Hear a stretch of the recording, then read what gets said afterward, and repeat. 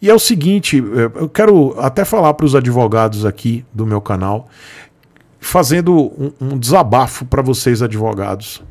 É um desabafo meu. Eu fico impressionado com a quantidade de, de pessoas. E aí é, é uma coisa que eu acho que a culpada disso é a OAB. Eu, eu penso, tá? É um pensamento meu, tá? É, e eu falo como desabafo a todos os advogados que são meus inscritos. Eu sei que tem muitos advogados que são meus inscritos. E eu sempre digo aqui que todo cidadão ele tem que ter médico de confiança e advogado de confiança. E agora tem mais um, que é o, o, o contador. Né? Se você é, tem empresa, você tem que ter contador, porque contador, sem contador de confiança, você está lascado. Mas tem que ter advogado e médico. E, e a gente que é motociclista tem que ter mecânico. Mas, gente, na sociedade de hoje, cheia de, de armadilhas, armadilha para tudo quanto é lado. Você tem armadilha de empresa, você tem armadilha de tudo, galera, tudo. Empresa de celular, empresa de operadora de, de avião, é, de passagem aérea, de, né? Tudo, gente, tudo, tudo. Tem armadilha para tudo quanto é lado. E quais são os mecanismos que nós temos para nos preservarmos e nos assegurarmos de não cair na armadilha? É a lei. Nós temos um país com lei. Infelizmente, a gente ouve tanta baboseira na internet, tanta merda das pessoas, porque fala porque o Bostil, porque o Banonil, porque não sei o quê, mas a gente tem um país. Nós somos um país legalista. Tem lei aqui. Eu não gosto de ficar ouvindo muitas pessoas polarizando, criticando a lei, criticando isso, criticando aquilo, porque parece que banalizam a lei, como se não tivesse lei. E o país tem lei sim. Inclusive a nossa lei é uma das mais avançadas do mundo. Mas a OAB geral, eu vejo que ela é a grande culpada disso porque ela é muito distante das pessoas. A OAB mesmo é muito distante do povo. Então o povo, ele não tem noção de que ele tem o direito muito próximo. Advogado, aí eu digo para os meus inscritos, cidadão, cidadã, você que está me assistindo, seja motociclista ou não, você tem direito. Existem advogados com vários preços, tá? Advogado não é para rico, não. E se você tem isso na sua cabeça, é porque você é um ser ignorante, homem ou mulher. Se você acha que advogado é caro, é porque você é ignorante. Ignorante de não saber. Porque tem advogado com preço social, com valor social. Tem advogado que às vezes nem cobra, porque tem uma cota social. E advogados com preço caro. Tem advogado para todos os, todos os bolsos. Tem advogado para todo mundo, gente. Esse papo, essa conversa de que não tem advogado, isso é, isso é conversa para para gente ignorante ou quem fala isso para poder lhe enganar.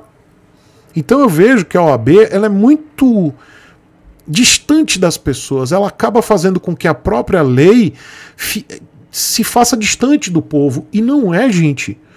Existe o juizado especial, que é para pessoas que não têm condição. Obviamente que o juizado especial ele tem um teto para ações. Ou seja, se você. Eu vou dar um exemplo para as pessoas que não sabem, tá? Eu não vou falar com valor porque eu não quero. É, entrar, entrar mais profundamente na questão legal.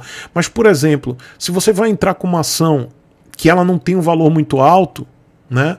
Você entra na, no juizado especial, que era um antigo juizado de pequenas causas, e lá você não paga nada.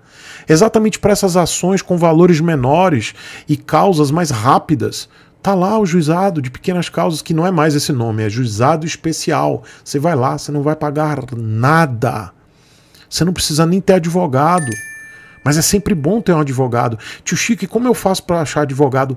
Busque conhecimento. Você não sabe usar esta porra para ver a porra do TikTok? Você não sabe ficar vendo uma merda passando para cima a cada 30 segundos? Desgraça. Vá buscar um advogado, demônio. Para ver merda você sabe, né? Agora, para olhar o que vai lhe salvaguardar, você não sabe. Então vá pro inferno, vá procurar o advogado. Advogada, porra. Então o que eu vejo é muita gente. Ah, porque eu não, não tenho justiça, é muito caro. Vai ficar olhando merda na internet, você sabe, né? Então tem lei, tem justiça, você tem uma coisa chamada Código de Defesa do Consumidor. As empresas não podem sambar na sua cara. Elas não podem fazer isso. Você tem muitos mecanismos que lhe protegem. Você, consumidor, você tem um livretinho chamado Código de Defesa do Consumidor que você pode baixar. E você vai saber ali tudo. Se alguém disser assim, ó, vou dar um exemplo. Eu fui numa loja e eu cheguei para trocar um produto. Tava no prazo para trocar. E aí a, a, é uma coisa boba, tá? Aí a vendedora disse: Ah, eu não tenho produto para trocar. Eu falei: Tá, eu quero meu dinheiro de volta. Ela fez: Ah, nós não podemos devolver o dinheiro. Eu disse: Como assim? Eu quero meu dinheiro de volta. Aí ela: Não, senhor, a gente vai lhe dar um voucher. Eu, eu não quero voucher. Eu quero meu dinheiro de volta. Não, mas é porque nós não processamos. Eu fiz: Olha, de acordo com o Código de Defesa do Consumidor, ela não, um momentinho. ela já mudou a história. Você quer que, eu falei, você quer que eu abra o Código de Defesa do Consumidor? Eu baixo aqui agora, eu tenho aqui no meu celular. Ela, não, não, não, eu vou, eu vou conversar aqui com o gerente. Resolveu rápido. Tem várias situações que é só você falar isso. Tem outras situações que parecem mais complexas, que é só você entrar com o advogado, o advogado ele manda um, uma notificação extrajudicial, a empresa Opa, resolveu. Às vezes não precisa nem acionar advogado, basta você entrar no consumidor.gov.br, fazer sua queixa, porque vai bater lá na empresa, a empresa vai receber essa notificação. consumidor.gov.br. Aí a empresa vai entrar em contato com você e vai resolver. Se não resolver, aí você vai escalando. Você vai escalando. Existem mecanismos. Você está com problema no celular, você tem um aplicativo da Anatel. Você vai lá no aplicativo da Anatel e você vai fazer uma queixa à Anatel. A Anatel vai lhe, vai lhe perguntar o protocolo que você fez a queixa na, no seu servidor de telefonia. Você tem que ligar primeiro para o servidor e falar: olha, eu estou com um problema na, no meu telefone, ou na minha conta, ou, ou, ou cortaram minha linha, ou estão me, me cobrando a mais. Mas você tem que ter um número de protocolo. Então você tem que se queixar primeiro, pegar o número do protocolo e se queixar na Anatel. É um aplicativo e funciona. Funciona. Eu estou com um problema legal há três anos com uma operadora de celular. O meu advogado entrou em ação. Eu estou com ação contra essa operadora há dois anos. Meu celular voltou a funcionar. Eu fiquei três anos sem funcionar o celular. Dois anos sem funcionar o celular. Dois anos. Sem funcionar direito. Agora ele funciona. Porque o meu advogado botou o negócio para funcionar. Funciona. E tá, nas, e, e, e, tá rolando uma ação. Por quê? Porque eu sei dos meus direitos. Eu tenho um advogado, eu tenho mais de um advogado na realidade. Então, faça valer o seu direito. Se o concessionário lhe cobrou um, um calção e você não sabe quando vai receber a moto, você não sabe por quanto você vai pagar a moto. E você tem uma surpresinha quando você recebe a moto, cobrar um preço absurdo, ou você demorou para receber, não sabe quando. Você entra com uma ação. Mas antes você precisa fazer uma queixa à montadora, pegar o número do protocolo, fazer a, com esse número de protocolo você precisa protocolar no consumidor.gov.br com a sua queixa escrito de forma objetiva, sucinta, copiar isso, colocar no reclameaqui.com.br, cola esse mesmo texto lá do consumidor.gov.br, você cola no reclameaqui.com.br, colou. E aí você vai no Procon, com esse número de protocolo, vai no Procon. São todos esses mecanismos. Munido disso, você vai acionar o seu advogado. Eu não tenho advogado, tio Chico. Fecha o aplicativo de, de bobagem, e vai buscar um advogado. Vai buscar, você acha. Você vai achar. Você sabe achar bobagem? Você vai achar advogado, advogada na sua cidade. E que ainda faz um preço social. Tenho certeza que você vai saber buscar. Você é inteligente. Você é preguiçoso ou preguiçosa, mas é inteligente. E aí, munido disso, você vai entregar tudo para o advogado e falar assim: ó, estou com esse problema, advogado. Aí o advogado vai dizer, cara, isso aqui a gente resolve, vai ser, vai ser interessante, vai ser isso aqui, né? Você vai ver a concessionária resolve rápido. Aí você vai ter que pagar o advogado. Mas você vai ter o seu caso resolvido. Para isso que existe advogado. Porque você pode ainda conseguir um, uma, um, um, valor nessa ação por danos morais e a empresa ela vai aprender a não fazer mais isso com ninguém.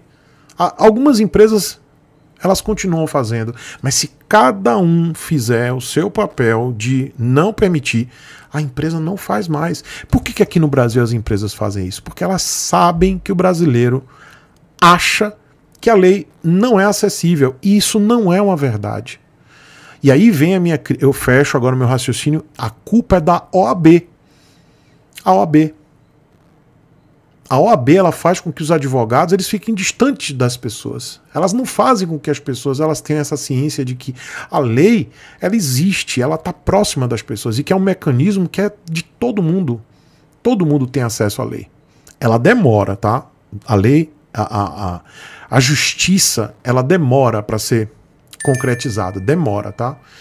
Pense nisso. Ah, eu sou imediatista, então, amiguinho, você está no plano errado, porque o plano, esse plano, ele não funciona com pessoas imediatistas. O plano mesmo, é essa, essa vivência aqui que você está agora, esse plano existencial, ele é denso. E pelo fato de ser denso, olha, eu estou indo agora para outro, outro papo, né? Mas tem tudo a ver. Se você é uma pessoa imediatista, você está aqui exatamente para aprender a não ser. Porque esse plano ele tá te fazendo tá te fazendo aprender a não ser imediatista, porque todo caboclo ou cabocla que é imediatista, ó, se lasca e tá aqui exatamente para aprender a não ser.